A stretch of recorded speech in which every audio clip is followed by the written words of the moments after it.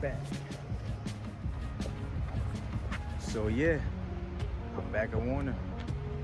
This time I got a Freightliner, a 2019. I believe it's 2019. It was much better than the last one I had. Um, I'm saying?